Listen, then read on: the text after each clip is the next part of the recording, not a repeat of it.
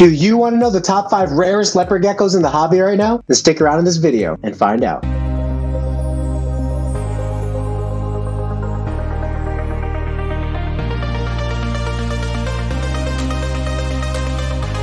Selling in the billions each year, Rainbow Mealworms is your one-stop shop for all your insect needs. Their quality feeders and A-plus customer service keep me coming back to support the health and growth of all of our animals. Visit them today at rainbowmealworms.net to place your order. Now, leopard geckos have been around in the hobby for a while, but there are some morphs that just outshine the others. Starting off at number five, I'm going to say is actually the red diamond leopard gecko. Although this can kind of fall into the not so rare category, it was tough for that number five spot. And to me, I think it's a little bit more unique and rare than the other contenders that could have taken this spot. This is a morph that was coined and created by Barry Gardner of Only Tangs. As the name states, he loves tangerines and focuses on only tangs. Through the years of creating this line, it started to develop a really unique look to it. That look would include, but is not limited to, a decently colored tangerine or orange gecko with a lot of white coloration on it for the first couple of months. Now, the reason I say the first couple of months is because leopard gecko colors go through a vast amount of changes across their life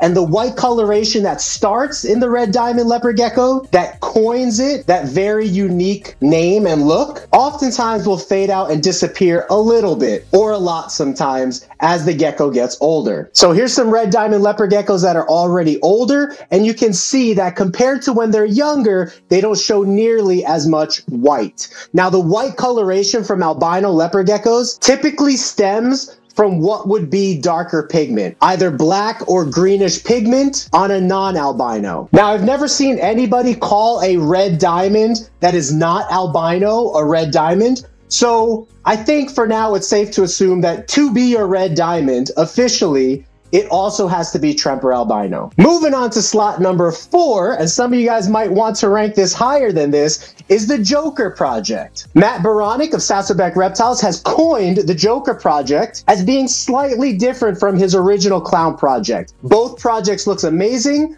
but the Joker Project has different blood infused into it. Some of that blood that he's mentioned is Firebolt, Black Knight, and Mandarin genetics, into the clown genetics to create this new, darker, deeper, contrasted gecko, as you can see from these photos, coining it the Joker Project. Now, a lot of people were going back and forth on whether the Joker Project should be called something different than the Clown Project. To me, any breeder that's working a unique project and wants to market themselves, I'm okay with that. I think there's nothing wrong with that from a business perspective. Matt does claim that the Joker project is just him continuing his line of clown from 10 years ago when he originally left the hobby for the exact look and phenotypic expression that he wants to go for. And since the Joker project does have different DNA in it than a normal clown project, I think it's safe to say that Matt's in the right to rename it, mark it, and work the project as he sees fit. Okay, moving on to gecko number three in the countdown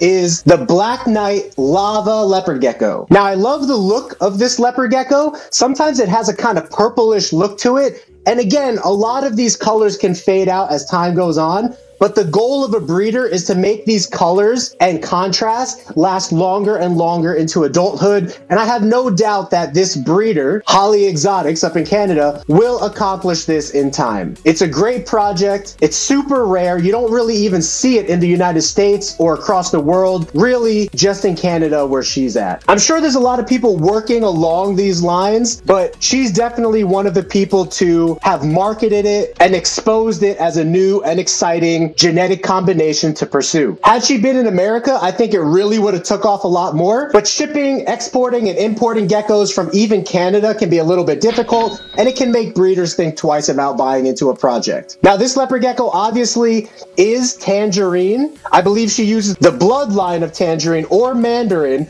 combined with the Tremper albino gene to create an albino leopard gecko that has orange hues and instead of white pattern where a normal albino would have white, because of the Black Knight genetics infusing dark melanistic color into the chromatophores of the gecko's skin, it gives the gecko almost this purple sheen-ish look, which is really, really cool. Number two on the list is going to be none other than Gecko Boa's Cypher gene. This is really exciting for leopard geckos because it's rare in leopard geckos for actual new genes to pop up. There's only been a few that have popped up over the last decade. And this one was discovered maybe six or seven years ago, but he didn't really talk about it much because he wanted to understand it fully first, experiment with it, make sure it has no health issues. And now that he's done all of that, he's officially brought it to market and made them available for sale. It's a recessive gene that popped out of wild type genetics. So like Fasciolatus, Turkmenicus, Afghanicus, those are wild types. I'm not sure which wild types they popped out of for him. It might have been the Turkmenicus or Fasciolatus because the gecko does have a lighter overall color tone and appearance. And Fasciolatus and Turkmenicus do have a lighter color tone and appearance as well. However, the telltale signs of a Cypher leopard gecko are a reverse stripe that goes down the back as a baby and a reverse stripe that goes down the door dorsal or the top of the tail as a baby, which is really unique. We've never seen that in leopard geckos anywhere else. And also lighter pigment or coloration to the overall gecko. That's why a lot of people are excited to get this into tangerine in hopes that it brightens up the gecko similar to what a white and yellow does, except it's a new genetic for us to play around with. Other people are really excited to see if we can create a tri-stripe leopard gecko by using a bold stripe to have two stripes down the lateral sides of the animal along its rib cage, and then that one dorsal stripe down the top that the Cypher is characteristic for to create a three-striped animal. Now, Cyphers do look completely different as adults than babies.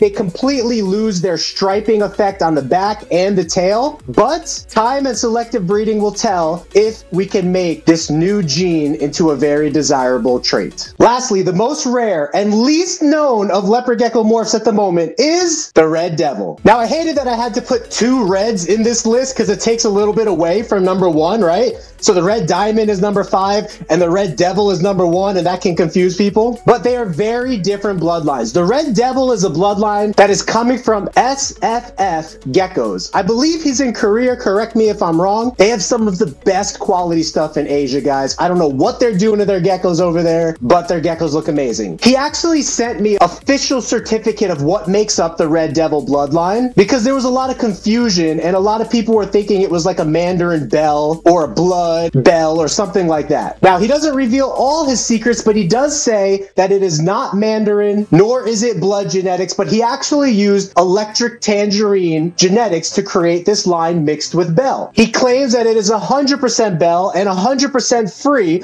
of rainwater or Tremper albino genetics. And I believe his original line, he even claims, is 100% free of Eclipse. So as of right now, it's just a pure, bright, orangey red Bell albino tangerine gecko. It's the perfect base form for anybody in America to take that gecko and really ramp up and start a Red Devil, White and Yellow, Red Devil, Black Knight, Red Devil Fasciolatus, even Red Devil Eclipse project in the United States and really encourage, motivate, and excite the leopard gecko hobby that we still have so many color palettes, saturation qualities, and genetic potential for this wonderful species that we work with. So what did you guys think about this video? I thought it was pretty cool putting it together and just getting an an idea for some of the most top sought morphs in the world. Now, you might be asking yourself, Frank, why are you wearing this ridiculous hat? It's because I love it. It has a real Jurassic Park vibe to it. It blocks out the hot Arizona sun, and it has these holes in the side for ventilation. All around, great product. Keep an eye out for our next genetic video, which is going to be the top five most strangest leopard gecko combinations in existence. My name is Frank. Hats off to you and I thank you for coming along in this journey. Until next time, my friends, stay safe and have a geeky gecko great day. Peace.